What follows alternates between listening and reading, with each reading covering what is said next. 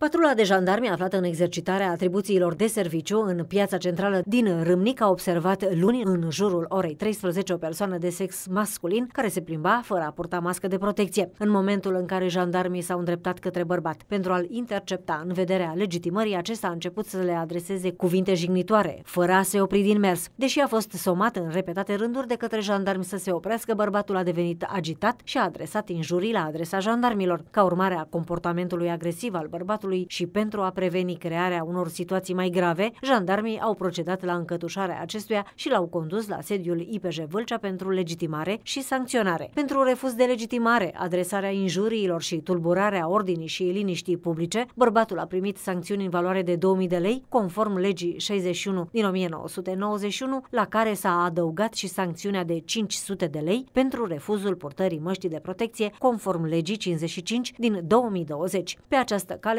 reprezentanții Inspectoratului de Jandarm Județean Vâlcea îi sfătuiesc pe vâlceni să respecte măsurile de protecție sanitară impuse de contextul actual și să adopte un comportament civilizat în momentul în care interacționează cu patrulele de jandarmerie care acționează pentru siguranța cetățenilor. Acțiunile poliției și jandarmeriei nu au ca scop principal sancționarea cetățenilor, ci doar ca toată lumea să conștientizeze faptul că sănătatea și viața lor, precum și a persoanelor din jurul lor, sunt cele mai importante, însă nu vor vor tolera nicio abatere a legii.